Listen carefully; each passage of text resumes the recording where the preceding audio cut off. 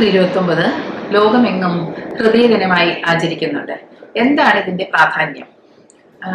ഹൃദ്രോഗവും പക്ഷാഘാതവും മൂലം ഒരു ഒന്നര കോടിയിലേറെ ആൾക്കാർ പ്രതിവർഷം മരണമടയുന്നുണ്ട്. ഇതാണെങ്കിൽ നമുക്കൊരു എൺപത് ശതമാനത്തോളം നമുക്ക് തടയാവുന്നതാണ്. ഇതെങ്ങനെ തടയാം? ആരോഗ്യകരമായ ഒരു ജീവിതശൈലിയിലൂടെയും നിങ്ങൾക്ക് ഇതിന് കാരണമായിട്ടുള്ള പ്രമേഹം പുകവലി അമിത രക്തസമ്മർദ്ദം അമിതമായ രക്തത്തിലെ കൊഴുപ്പിന്റെ അളവ് ഈ കാര്യങ്ങൾ നമുക്ക് തടയാനാവുന്ന കാരണങ്ങളാണ്. നമുക്ക് തടയാൻ പറ്റാത്ത ചില കാരണങ്ങളുണ്ട്. അതായത് ഫാമിലി ബാക്ക്ഗ്രൗണ്ട് ജനറ്റിക് ആയിട്ട് വരുന്ന കാര്യങ്ങൾ നമുക്ക് തടയാനാവുന്നതല്ല. തടയാനാവുന്ന കാരണങ്ങളൊന്ന് നോക്കുകയാണെങ്കിൽ ആരോഗ്യകരമായ നമ്മുടെ ഒരു ജീവിതശൈലി എന്ന് നമ്മൾ പറഞ്ഞത് അതായത് ഒരു ആരോഗ്യകരമായ ഭക്ഷണ രീതി.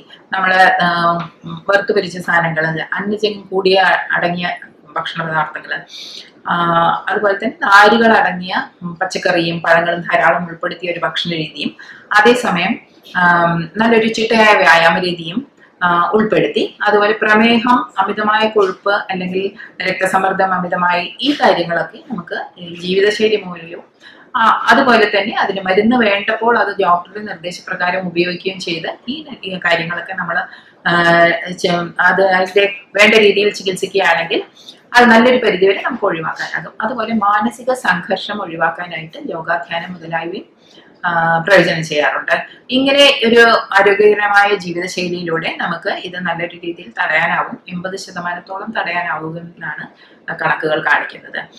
പിന്നെ അത് അഥവാ നിങ്ങൾക്ക് ഇതിന്റെ ലക്ഷണങ്ങൾ എന്തെങ്കിലും ഉണ്ടെങ്കിൽ നിങ്ങൾ ഉടനെ വൈദ്യസഹായം തേടേണ്ടതാണ്. ഡോക്ടർ നിർദ്ദേശത്തിന് പോകേണ്ടതാണ്. കീപ് യുവർ നമ്പേഴ്സ് നോർമൽ എന്നാണ് പറയുന്നത്. അതായത് പ്രമേഹമുള്ളവരിൽ അവരുടെ അളവ് പഞ്ചസാരയുടെ അളവ് നിങ്ങൾക്ക് ഏവർക്കും അറിയാം. ആഹാരത്തിന് മുമ്പായിട്ടാണെങ്കിൽ നൂറും ആഹാരത്തിന് ശേഷം നൂറ്റി നാൽപ്പതിനും താഴെ നിർത്തുക. ബ്ലഡ് പ്രഷർ രക്തസമ്മർദ്ദം അമിതമായിട്ടുള്ളവർ നൂറ്റി മുപ്പത് എൺപത് എന്നുള്ള ഒരു ടാർജറ്റാണ് വെച്ചിരിക്കുന്നത് അത് മരുന്നുകൾ മരുന്നുകളുടെ ഉപയോഗം കൊണ്ടും ജീവിതശൈലിയും കൊണ്ട് രണ്ടും ഉൾപ്പെടുത്തിക്കൊണ്ട് നമ്മളത് നോർമലായിട്ട് കീപ്പ് ചെയ്യുക കൊഴുപ്പിന്റെ അളവും നമ്മൾ നമ്മുടെ harmful cholesterol L D F കൊളസ്ട്രോളിന്റെ അളവ് നൂറിന് താഴെ എഴുപതിനും താഴെ കീപ്പ് ചെയ്യാനാണ് ഹൃദ്രോഗികൾക്ക് ഉള്ള നിർദ്ദേശം. സാധാരണക്കാരിലും നൂറ്റി എൺപത് ടോട്ടൽ കൊളസ്ട്രോളിലും ഹാർംഫുൾ കൊളസ്ട്രോൾ ഒരു നൂറിന് താഴെയും നിർത്താനാണ് നിർത്താനാണ് നിർദ്ദേശം.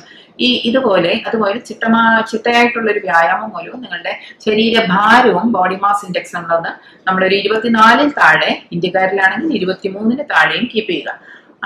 ഇത്തവണത്തെ വേൾഡ് ഹാർട്ട് ഫെഡറേഷൻ നിർദ്ദേശിച്ചിരിക്കുന്നത് ഡിജിറ്റൽ മീഡിയ ഉപയോഗിച്ച് നിങ്ങളുടെ ഹൃദയം കണക്ട് ചെയ്യുക എന്നാണ്.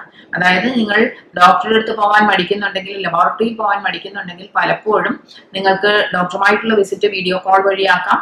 അല്ലെങ്കിൽ ലബോറട്ടറികൾ പലപ്പോഴും വീട്ടിൽ വന്ന് ടെസ്റ്റ് എടുത്ത് നമുക്ക് വാട്സാപ്പിൽ വഴിയും എല്ലാം റിപ്പോർട്ടുകൾ അയച്ചു തരാറുണ്ട്. ഇതെല്ലാം പ്രയോജനപ്പെടുത്തു. പിന്നെ അഥവാ നിങ്ങൾക്ക് ഇതുപോലെ ലക്ഷണങ്ങൾ വല്ലതും ഉണ്ടെങ്കിൽ ഡോക്ടർ നിർദ്ദേശപ്രകാരം ടെസ്റ്റുകൾ ചെയ്യുക. സാധാരണയായിട്ട് നമുക്ക് ഏവർക്കും അറിയാം. ഹൃദ്രോഗം വരികയാണെങ്കിൽ അതിന്റെ പ്രധാന ലക്ഷണം നെഞ്ചുവേദനയാണ്.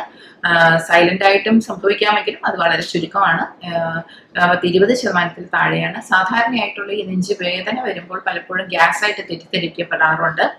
ഇതെങ്ങനെ തിരിച്ചറിയാമെന്നൊരു സാധാരണയായിട്ട് എപ്പോഴും കോമൺ ക്വസ്റ്റ്യൻ ആണ്. അപ്പോൾ നെഞ്ചിന്റെ നടുക്ക് വരുന്ന ലക്ഷണം ഇതിന്റെ ലക്ഷണം എന്ന് പറഞ്ഞാൽ നെഞ്ചിന്റെ നടുക്ക് നടുഭാഗത്തായിട്ട് നമുക്കൊരു കല്ല് വെച്ചതുപോലെയോ ഒരു വെയിറ്റ് വെച്ചതുപോലെയോ അനുഭവപ്പെടാം. അല്ലാതെ സൂചി കുത്തുന്ന പോലെ ഒരു പോയിന്റിലായിട്ട് അനുഭവപ്പെടാറില്ല. ഇങ്ങനെ ഒരു ഈ ലക്ഷണം തോന്നുകയാണെങ്കിൽ ചുരുക്കം ചില അത് തരിപ്പായിട്ട് നമ്മുടെ താടിയെല്ലിലേക്കോ തൊണ്ടയിലേക്കോ വ്യാപിക്കാം. ചുരുക്കം ഇടത്തെ കൈയിലേക്കും ചെറുവിരലിലേക്ക് വരെ ആ തരിപ്പ് വ്യാപിക്കാം. അതുപോലെ തോളിന്റെ ഇടത് ഭാഗത്തായിട്ടോ വയറിന്റെ മുകൾ ഭാഗത്തായിട്ട് ഗ്യാസ് ആയിട്ടോ ഒക്കെ ഈ തരിപ്പ് വ്യാപിക്കാറുണ്ട്. ഇതിനോടനുബന്ധിച്ച് നിങ്ങൾക്ക് അമിതമായിട്ടുള്ള വിയർപ്പ് ഛർദിൽ അങ്ങനത്തെ കാര്യങ്ങളും അനുഭവപ്പെടുകയാണെങ്കിൽ ഹാർട്ട് അറ്റാക്കിന്റെ ഒരു ലക്ഷണമായി കണക്കാക്കാം. ഈ സ്വഭാവ രീതിയുള്ളത് നിങ്ങൾ എന്തെങ്കിലും വ്യായാമം ചെയ്യുമ്പോൾ മാത്രമാണ് അനുഭവപ്പെടുന്നതെങ്കിൽ അതൊരു ബ്ലോക്കിന്റെ ഒരു ആൻജൈന ഒരു താൽക്കാലികമായിട്ട് നിങ്ങൾക്ക് അനുഭവപ്പെട്ട നെഞ്ചുവേദനയാണെങ്കിൽ എന്തെങ്കിലും നമ്മൾ ശാരീരികമായിട്ട് അധ്വാനിക്കുമ്പോൾ മാത്രമാണ് അനുഭവപ്പെട്ടതെങ്കിൽ അതൊരു ബ്ലോക്കിന്റെ ലക്ഷണമാണ്. അതിനൊരു എമർജൻസി ഇല്ല. നിങ്ങൾക്ക് ഡോക്ടറെ കൺസൾട്ട് ചെയ്ത് അത് ഇതാണോ എന്ന് സ്ഥിരീകരിക്കേണ്ടതുണ്ട്. പക്ഷേ ഇത് നിങ്ങൾക്ക് ഒരു കടുത്ത വേദന മുപ്പത് മിനിറ്റിൽ കൂടുതൽ ദൈർഘ്യത്തിൽ നിൽക്കുന്ന ഇങ്ങനെ ഒരു വേദന അതിനോടനുബന്ധിച്ച് നിങ്ങൾക്ക് ഇതുപോലെ വിയർപ്പും ഛർദിനും തളർച്ചയും ശ്വാസം മുട്ടലോ ഒക്കെ അനുഭവപ്പെടുകയാണെങ്കിൽ ഹാർട്ട് അറ്റാക്ക് ആയിട്ട് തന്നെ കരുതണം. ഈ ലക്ഷണങ്ങൾ എല്ലാം ഉണ്ടാവണമെന്നില്ല. നിങ്ങൾക്ക് സംശയം തോന്നിക്കഴിഞ്ഞാൽ ഏറ്റവും അടുത്തുള്ള ഹോസ്പിറ്റലിൽ എത്തുക ഒരു ഐ സി യു കെയറുള്ള ഹോസ്പിറ്റലിൽ എത്തുക എന്നുള്ളതാണ് നമ്മൾ ചെയ്യേണ്ടത്. അവിടെ ഡോക്ടർമാർ ഇ സി ജിയും ബാക്കി ടെസ്റ്റുകളും അനുസരിച്ച് നിങ്ങളുടെ അത് അസുഖം കണ്ടുപിടിക്കുകയും വേണ്ട ചികിത്സ ഉടനെ തുടങ്ങും. എന്താന്ന് പറഞ്ഞാൽ ഹൃദ്രോഗത്തിനെ സംബന്ധിച്ചിടത്തോളം ടൈമിസ് മസിൽ എന്ന് പറയുന്നത് ഓ നെഞ്ചുവേദനയുടെ ഓരോ മിനിറ്റ് കഴിയും തോറും മസിലിന്റെ ഡാമേജ് കൂടിക്കൊണ്ടിരിക്കുകയാണ്. അപ്പോൾ അത് ടൈമിസ് ഗോ മസിൽ അതാണ് ഞാൻ പറഞ്ഞത്. ഓരോ മിനിറ്റ് കഴിയും തോറും മസിൽ ഡാമേജ് കൂടും. അപ്പൊ എത്രയും എളുപ്പം ഒരു ഹോസ്പിറ്റലിൽ എത്തി അതിന്റെ ചികിത്സ തുടങ്ങുകയാണ്. മസിലിന്റെ ഡാമേജ് കുറഞ്ഞിരിക്കും. അപ്പോൾ ഹാർട്ട് മസിലിന്റെ നമുക്ക് പമ്പിങ്ങിന്റെ കപ്പാസിറ്റി നമുക്ക് നോർമലായിട്ട് കീപ്പ് ചെയ്യാൻ പറ്റും. അല്ലെങ്കിൽ മിനിമം ഡാമേജിൽ അത് നിർത്താൻ പറ്റും. അപ്പൊ ഈ കാര്യം എല്ലാവരുടെയും ഒരു ശ്രദ്ധയിൽപ്പെടുത്തിക്കൊണ്ട് അതുപോലെ ഇതിന്റെ ഹൃദയ സംരക്ഷണത്തിനായിട്ടുള്ള കാര്യങ്ങൾ നിങ്ങളൊന്ന് അതൊന്ന് ശ്രദ്ധ പതിപ്പിക്കുക നിങ്ങളുടെ ജീവിതശൈലിയിൽ മാറ്റങ്ങൾ ഉൾപ്പെടുത്തുക വേണ്ട വേണ്ട സമയത്ത് വേണ്ട രീതിയിൽ അതിന്റെ ഡോക്ടർ നിർദ്ദേശം തേടി അതിനുള്ള ചികിത്സാ രീതികൾ എല്ലാവരും മരുന്നുകൾ ആവശ്യമുണ്ടെങ്കിൽ കഴിക്കുക. ആരോഗ്യകരമായ ഒരു ജീവിതശൈലി ഭക്ഷണക്രമം വ്യായാമം മുതലായവ ഉൾപ്പെടുത്തുക. എന്നുള്ളതാണ് ഇത്തവണത്തെ നമ്മളുടെ ഒരു നിർദ്ദേശം. ഇതെല്ലാവരിലും എത്തിക്കുക. സുഹൃത്തുക്കളിലും സഹപ്രവർത്തകരിലും കുടുംബാംഗങ്ങളിലും എല്ലാം എത്തിക്കുക. എല്ലാവർക്കും ഒരു നല്ല ഹൃദയദിനം ആശംസിച്ചുകൊണ്ട് നടത്തട്ടെ. നന്ദി നമസ്കാരം.